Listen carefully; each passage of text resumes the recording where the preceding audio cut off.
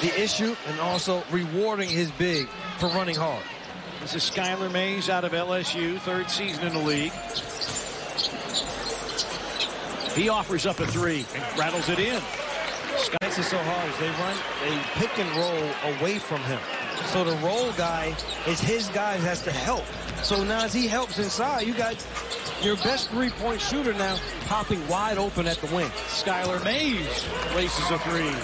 Overs for 21 points, and they had 25 fast break points. Mays good with the first. Disrespect them as a team, as individual players.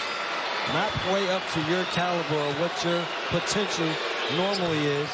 And then there's at home against the Trailblazers in three years. And the Grizzlies turned it over again. Jeenathan Williams back in the game. Mays lines up a three, puts it in, and here comes the thing that hurt the Grizzlies in the Chicago Bulls game. The turnovers that they had. And it wasn't just the turnovers. It was that the Bulls were scoring on just about every turnover. Except David Roddy, who knocks it down. Fifth assist for Morant. Grizzlies don't have fouls to give. Mays drives, banks, hits. Skylar Mays. Mays stealing and finishing. Grizzlies care to yours. So something else that was a similar theme to Chicago.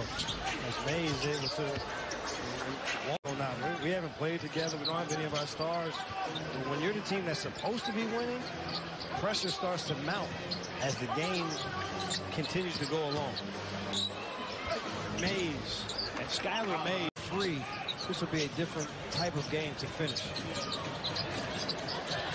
Mays a leaning three, puts it in.